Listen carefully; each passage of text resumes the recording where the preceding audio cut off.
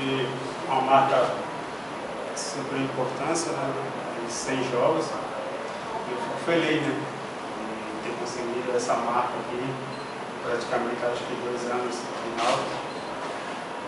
Então acho que só tenho a agradecer a todos que compartilham isso comigo. E no momento que eu cheguei aqui, incentivaram, deram apoio. Acho que é sempre importante isso, dentro de uma equipe e com o jogador. Antes eu já tinha falado com o Dirley, que sempre é bom isso, deixar marca no clube. Então, fico feliz de estar fazendo uma marca de 100 jogos, diante aqui da, da equipe do Salgueiro, que vai ser um bastante complicado. E espero fazer um bom jogo amanhã e conquistar os dois pontos. Sabemos que não vai ser fácil,